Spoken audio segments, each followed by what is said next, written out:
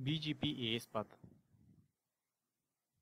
So இந்த செஷனில் நம்ம பிஜிபி ஏஎஸ் பாத் கான்ஃபிகரேஷனை பற்றி பார்க்க போகிறோம் ஸோ நம்ம யூஸ் பண்ண போகிற டோபாலஜி அதுக்கு இதுதான் ஸோ இதில் அஞ்சு ரவுட்டர்ஸ் ஸோ அஞ்சு ரவுட்டரும் அஞ்சு ஏஎஸ் ஓகே ஸோ இதில் நம்ம என்னென்ன பண்ண போகிறோம்னா இதோட ஐபி செக்மெண்ட்லாம் டிஃபால்ட்டாக one nine two one sixty eight அந்த ரவுட்டர்ஸ்க்கு ஏற்ற மாதிரி. ஒன் அண்ட் டூ கனெக்ட் ஆகிற இடத்துல one two one and three connect ஆகிற இடத்துல ஒன் த்ரீ ஸோ இந்த மாதிரி நம்ம கான்ஃபிகர் பண்ண போகிறோம் நெக்ஸ்ட் இந்த ஆர் ஃபைவ்ல மட்டும் ரெண்டு லூபேக் இருக்கும்.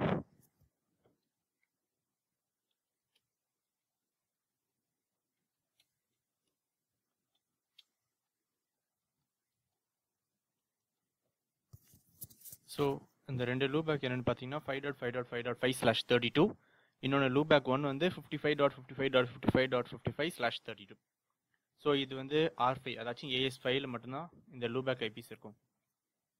வேறு எதுலேயுமே லூபேக் ஐபி இருக்காது. நான் ஐபிஆர்எஸ் எல்லாத்துக்கும் ப்ரீ கான்ஃபிகர் பண்ணிட்டேன்.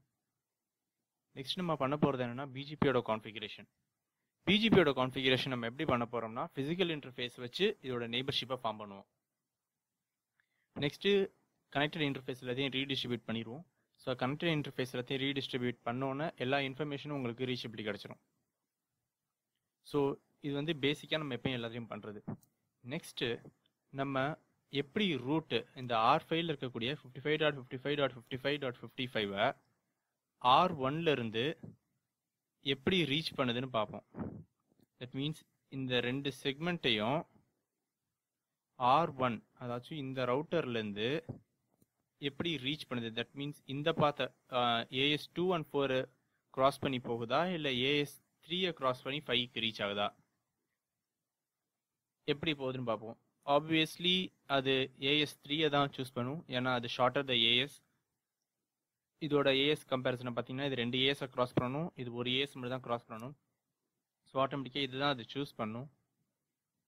நம்மளோட கான்ஃபிகரேஷன் மூலமாக தட் மீன்ஸ் ஏஎஸ் பாத் மூலமாக இந்த ஏஎஸ் த்ரீ மூலமாக அது ரீச் ஆச்சுன்னா ஏஎஸ் வந்து ரொம்ப லாங்கர் ஏஎஸ் ஏஎஸ் அந்த இடத்துல ரீச் பண்ணுறது ரொம்ப லாங்கர் அப்படின்னு சொல்லி நம்ம இந்த ஆர் ஒனுக்கு இன்ஃபர்மேஷனை கொடுத்தோம்னா ஆட்டோமேட்டிக்காக அதோட இன்ஃபர்மேஷன் எல்லாம் நம்மளுக்கு தட் மீன்ஸ் ஏஎஸ் த்ரீ மூலமாக போகாமல் இன்ஃபர்மேஷன் எல்லாமே உங்களுக்கு ஏஎஸ் டூ அண்ட் ஃபோர் மூலமாக போகணும் in order to reach this network இது ரெண்டில் நம்ம ஏதாச்சும் ஒரு நெட்ஒர்க்கை மட்டும் தான் நம்ம சொல்லுவோம்.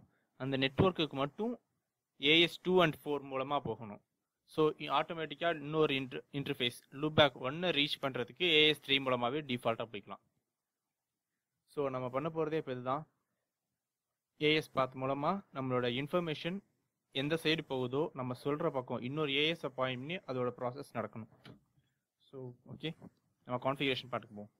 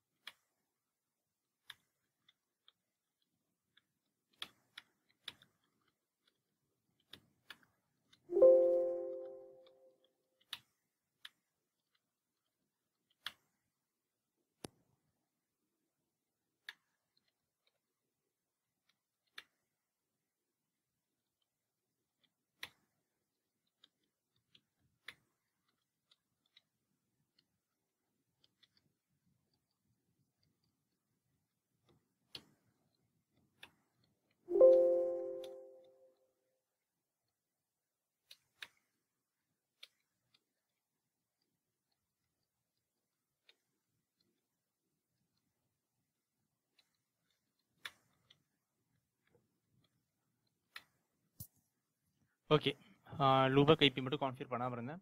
ஸோ லூபக் ஐபியை கான்ஃபியர் பண்ணியாச்சு. ஸோ நம்ம ஐபி ரிலேட்டட் கான்ஃபிகரேஷன் எல்லாம் ஓவர் ஸோ இப்போ நெக்ஸ்ட் என்ன பண்ண போகிறோம்னா எல்லாமே தனித்தனி ஏஎஸ் தான். எல்லா ரவுட்டர்ஸும் தனித்தனி ஏஎஸ் தான் இருக்குது ஸோ நம்மளுக்கு ஐபிஜிபியோட கான்ஃபிகேஷன் எதுவும் தேவை கிடையாது. சாரி ஐஜிபியோட கான்ஃபிகேஷன் தட் இஸ் ஓஎஸ்பிஎஃப் ஏஜிஆபி எதுவும் தேவையில்ல நம்ம டேரெக்டாகவே பிஜிபியோட கான்ஃபிகரேஷன் மட்டும் இப்போ பண்ண போகிறோம் அதுவும் ஃபிசிக்கல் இன்டர்ஃபேஸ் வச்சு தான் கான்ஃபியர் பண்ண போகிறோம் ஸோ நம்மளுக்கு எந்த ஸ்டாட்டிக் ரோட்ஸும் எதுவும் அடிஷ்னலாக தேவை கிடையாது. ஓகே ஸோ இதோட கான்ஃபிகரேஷனுக்கு ஆர்னோட கான்ஃபிகரேஷன் பண்ணுறேன் பிஜிபி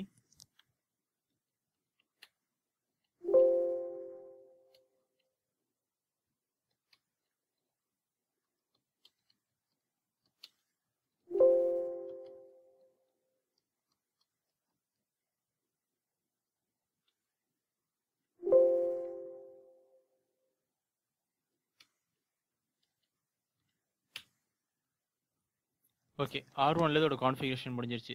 ஸோ இதே மாதிரி தான் R two R three R four and R five எல்லாத்துக்கும் நம்ம பண்ண போகிறோம் மறக்காமல் ரீடிஸ்ட்ரிபியூட் கனெக்ட்ங்கிற கமெண்ட் எல்லாத்துக்கும் நம்ம போட போகிறோம் ஓகே ஸோ இதுதான் R two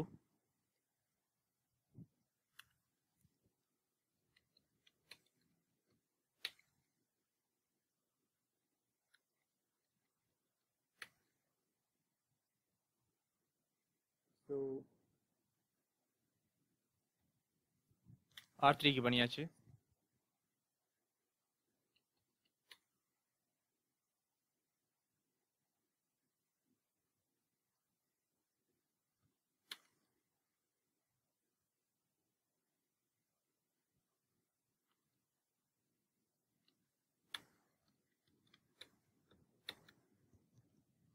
R four and R five அதுக்கும் பண்ணியாச்சு. ஸோ நம்ம எல்லாத்துக்கும் நம்ம டிஃபால்ட்டாக கான்ஃபிகரேஷன் எல்லாம் முடிச்சாச்சு. ஸோ எல்லாமே அதோட ஃபிசிக்கல் இன்டர்ஃபேஸோட நெய்பரை பாயிண்ட் பண்ணி தான் அது என்ன ஏஎஸ்ஓ அந்த ஏஎஸ் நான் பாயிண்ட் பண்ணி போட்டிருக்கேன். மறக்காமல் நம்ம கனெக்டட் இன்டர்ஃபேஸ் எல்லாத்தையுமே ரீடிஸ்ட்ரிபியூட் பண்ணியாச்சு. ஸோ ஆட்டோமேட்டிக்காக பிஜிபியில் அந்த இன்ஃபர்மேஷன் லேர்ன் ஆகும். ஸோ நம்ம செக் பண்ணி பார்த்துருவோம். ஆர் ஒனில் இருக்க ஆர் ஒனில் ஆர் ஃபைவோட லூபேக் இன்டர்ஃபேஸஸ் லேர்ன் ஆகுதா? அப்படின்னு.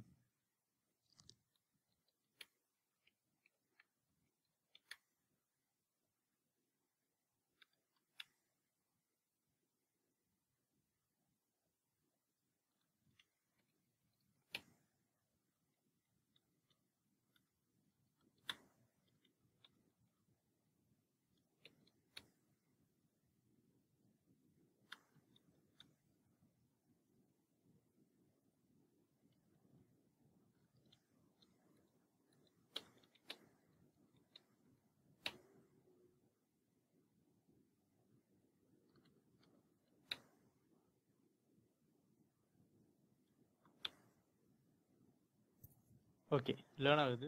பட் கொஞ்சம் டைம் எடுக்குது. பிஜிபியோட ஸ்லோ ரவுட்டிங் ப்ரோட்டோகால்ங்கிறனால கொஞ்சம் டைம் அதிகமாக எடுத்திருக்கு. ஸோ வேறு எந்த ப்ரா இஷ்யூவும் கிடையாது. இப்போ நம்மளுக்கு பிஜிபி டேபிளில் ஆர் ஒன்ங்கிற ரவுட்டரில் ரெண்டு லூபேக் இன்டர்ஃபேஸஸ் அதாச்சும் ஏஎஸ் ஃபைவ்ல இருந்து வரக்கூடிய ரெண்டு லூபேக் இன்டர்ஃபேஸஸும் நம்மளுக்கு இங்கே லேர்ன் ஆகுது. ஸோ பட் ஆனால் அது எப்படி லேர்ன் ஆகுதுன்னு பார்த்தீங்கன்னா நெக்ஸ்ட் ஹாப் வந்து தேர்ட்டீன் டாட் த்ரீ அதாச்சும் ஏஎஸ் த்ரீலேருந்து வருது.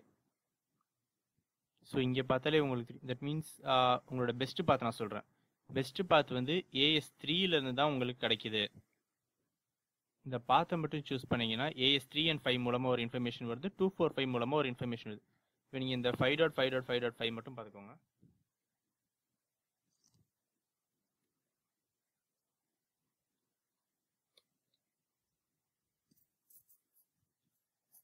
ஸோ இப்போ இதை மட்டும் செக் பண்ணி பார்த்தோம்னா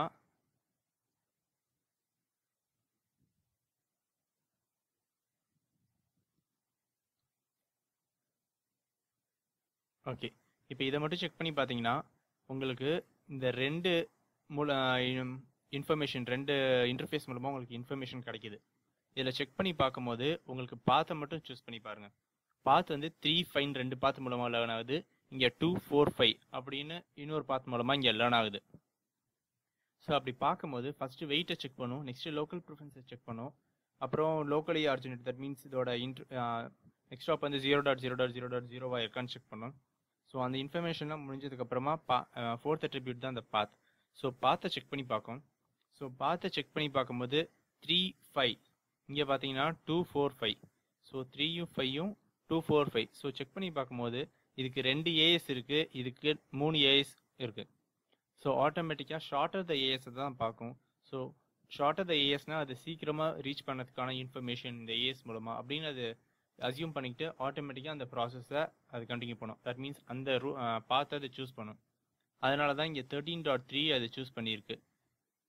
பிகாஸ் இங்கே ரெண்டே ரெண்டு ஏஎஸ் பார்த்தா இங்கே மூணு ஏஎஸ் பார்த்துருக்கு. ஸோ ரெண்டு ஏஎஸ் பார்த்தோன்னா சீக்கிரம் போயிடலான்னு அதுக்கு தெரிஞ்சு. ஸோ அதனால் அது வந்து இந்த இன்ஃபர்மேஷனை பெஸ்ட் பார்த்தா சூஸ் பண்ணியிருக்கு இப்படி தான் ஏஎஸ் பாத்தோட டிஃபால்ட்டான ஃபார்மேஷன் ஒரு பெஸ்ட் பாத்தை சூஸ் பண்ணுறதுக்கு நடக்கும். ஓகே இப்போ நம்ம என்ன பண்ண போகிறோம்னா ஃபஸ்ட்டே சொன்ன மாதிரி நம்மளை இதை பொறுத்த வரைக்கும் இப்போ ஆர் த்ரீ தான் பெஸ்ட்டு பார்த்தா இருக்கு.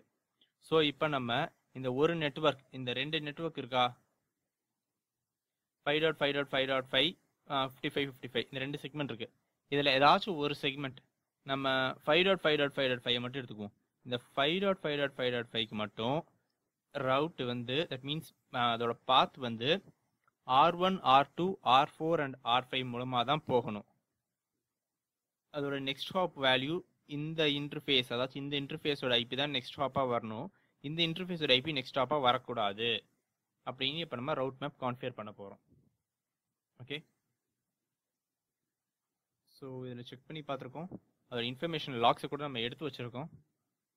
ஓகே இப்போ நம்ம எங்கேயோ கான்ஃபியர் பண்ணணும்னா இப்போ நம்ம ஆர் த்ரீயில் போய் கான்ஃபியர் பண்ண போகிறோம் அதாச்சும் என்கிட்ட இருந்து உனக்கு நான் கொடுக்கக்கூடிய இன்ஃபர்மேஷனில் என்னோட ஏஎஸ் பாத் மாறுது. அப்படின்னு சொல்லி ஆர் த்ரீலேருந்து ஆர் ஒனுக்கு நம்ம இன்ஃபர்மேஷனை கொடுக்க போகிறோம் அந்த மாதிரி. ஓகே ஃபஸ்ட்டு ஆர் த்ரீக்கு போயிடுவோம்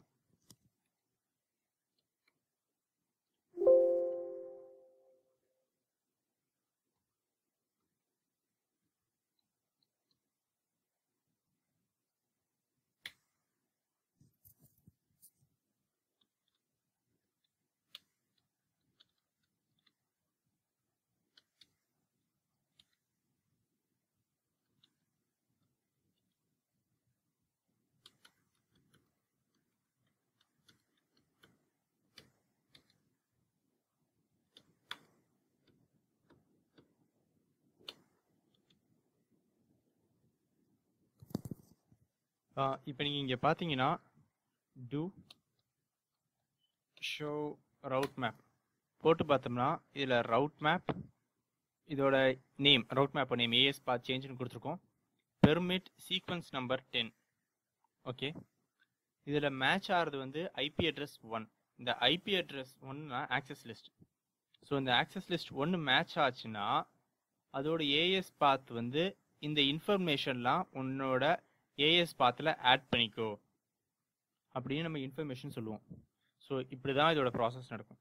பட் இப்போ நம்ம இங்கே என்ன பண்ண போகிறோம்னா இதில் நம்ம இன்னொரு ஸ்டேட்மெண்ட் ஒன்று ஆட் பண்ண போகிறோம் இந்த ரவுட் மேப்லேயே ஸோ என்னன்னா இப்போ இந்த பெர்மிட் வந்து சீக்வன்ஸ் நம்பர் டென் இப்போ நான் அந்த பெர்மிட் டென்னோட அப்படியே நான் ஸ்டாப் பண்ணிட்டேன்னா ஆட்டோமேட்டிக்காக அதில் என்னென்ன இன்ஃபர்மேஷன் இருக்கோ மீதி எல்லாமே தேவையில்லாமல் டெனி ஆகிறதுக்கான ப்ராசஸ் இருக்குது ஸோ நம்ம இன்னொரு ரவுட் மேப்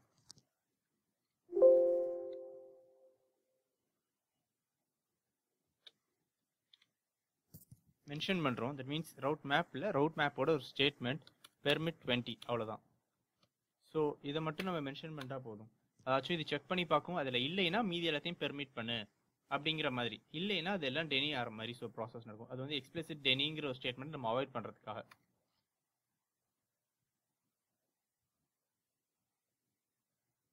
ஸோ நெக்ஸ்ட் இப்போ நம்ம ஒரு ஆக்சஸ் லிஸ்ட் க்ரியேட் பண்ண போகிறோம் access list one permit okay router BGP3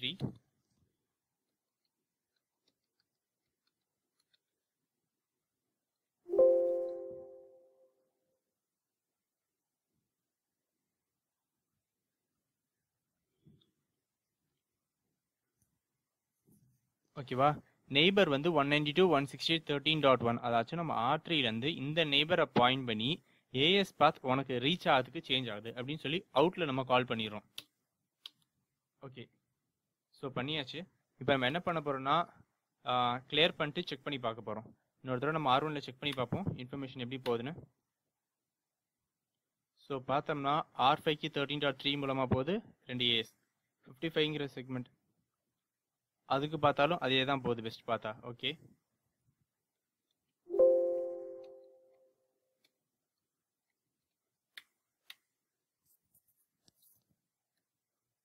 okay clear பண்ணியாச்சு? இப்போ செக் பண்ணி பார்ப்போம். ஓகே இப்போ செக் பண்ணி பார்த்தீங்கன்னா உங்களோட ஃபிஃப்டி ஃபைவ்ங்கிற ஸ்டேட்மெண்ட் ஆர் த்ரீ மூலமாக தான் போகுது. Fifty five dot fifty five fifty five fifty ஃபைவ்ங்கிறது R three மூலமாக தான் சூஸ் பண்ணி போகுது. பட் உங்கள் five dot five dot five dot five slash thirty டூங்கிற segment பார்த்தீங்கன்னா இந்த ரெண்டு ரூட் இருக்கு. ஸோ ரெண்டில் பார்க்கும்போது உங்களோட பெஸ்ட்டு பார்த்தா டுவெல் டாட் டூ அதாச்சும் ஆர் ஒன்லேருந்து R two R four R five மூலமாக ரீச் ஆகுது five dot five dot five dot five slash thirty டூங்கிற செக்மெண்ட்டை ஏன் அது ரீச் ஆகுதுன்னு பார்த்தீங்கன்னா இதோட பாத்தை பாருங்கள் இதோட பாத்தை பார்த்தீங்கன்னா ஃபஸ்ட் நெக்ஸ்ட் வந்து த்ரீ ஓகே ஸோ அதுக்கப்புறம் இதோட ஏஎஸ் பாத்தெல்லாம் பார்த்தீங்கன்னா பெரிய தட் மீன்ஸ் நம்ம ரவுட் மேப்பில் கான்ஃபியர் பண்ண இன்ஃபர்மேஷனோட ஏஎஸ் பாத் இன்ஃபர்மேஷன்லாம் ஆட் ஆயிரும். அதுக்கப்புறமா பேலன்ஸ் இருக்க ஏஎஸ்லாம் இங்கே வந்துடும் ஸோ இங்கே ரெண்டு ஏஎஸ்ங்கிறதால உங்களுக்கு ஃபஸ்ட்டு லாஸ்ட் வந்துருச்சு மீதி இருக்க ஏஎஸ்லாம் இங்கே வருது. ஸோ இந்த ரவுட்டரை பொறுத்த வரைக்கும் இந்த நெட்ஒர்க்கை ரீச் பண்ணுறதுக்கு ரெண்டு ரூட் இருக்கு. ஒன்று பார்க்கும்போது அந்த ரூட்டுக்கு மூணு ஏஎஸை கிராஸ் பண்ணணும். இன்னொன்று பார்த்துச்சுன்னா three four five six seven AS ஏழு ஏஎஸை கிராஸ் பண்ணி போகிற மாதிரி இருக்கும். ஸோ ஆட்டோமேட்டிக்காக அது பார்க்கறது என்னன்னா மூணு ஏஎஸ் பெருசா இல்லை ஏழு ஏஎஸ் பார்க்குமான்னு பார்க்கும்போது மூணு ஏஎஸ் தான் அது பெஸ்ட் பார்த்தா சூஸ் பண்ணிட்டு தான் இந்த இன்ஃபர்மேஷனை சூஸ் பண்ணிட்டு போகுது. ஸோ இப்படி தான் உங்களோட பிஜிபியில் ஏஎஸ் பாத்துங்கிற அட்ரிபியூட் ஒர்க் ஆகுது. ஸோ உங்களுக்கு புரிஞ்சிச்சுன்னு நினைக்கிறேன் ஏஎஸ் பாத் எப்படி கான்ஃபிகர் பண்ணுறது அது எப்படி சேஞ்ச் ஆகுது அது எப்படி ஒர்க் ஆகுதுன்னு. That's it about BGP AS path attribute configuration thanks for வாட்சிங் அண்டில் நெக்ஸ்ட் டைம்